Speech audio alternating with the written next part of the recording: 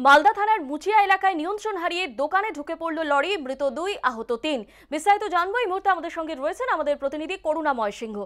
করুণাময়, কীভাবে এই দুর্ঘটনা ঘটেছে? গতকাল রাত সাড়ে দশটা নাগাদ এই ঘটনাটি ঘটেছে মালদার মুচিয়া এলাকায়। নালাগোলা, মালদা, নালাগোলা রাজ্য সড়ক। সেই মুচিয়া রাজ্য সড়কের পাশেই দো- একটি কাঠের দোকান রয়েছে সুমন দেবনাথের সেই সুমন দেবনাথের দোকানে বেশ কয়েকজন বসেছিলেন। সেই সময় একটি লরি নিয়ন্ত্রণ হারিয়ে এই দোকানের ভেতরে ঢুকে যায়। ঘটনাস্থলে পাঁচজন গুরুতর আহত হন। প্রত্যেককে মালদা মেডিকেল কলেজ হাসপাতালে নিয়ে আসা হয়। সেখানে রাতেই সুমন দেবনাথ, যিনি দোকান মালিক, তাকে মৃত বলে ঘোষণা করেন চিকিৎসকরা এবং আজ সকালে গোকুল বিশ্বাস নামে আরেকজনের মৃত্যু হয়েছে। সকাল আটটা নাগাদ আরেকজন মারা গেছে। অর্থাৎ এই ঘটনায় দুজনের মৃত্যু হয়েছে এবং তিনজন গুরুতর জখম রয়েছেন। এই তিনজন এখনও মালদা মেডিকেল কলেজ হাসপাতালে চিকিৎসাধীন। ঘটনার পর লরিটিকে পুলিশ আটক করেছে, যদিও চালক পলাতক। স্বর্ণালী। ধন্যবাদ, করুণাময়।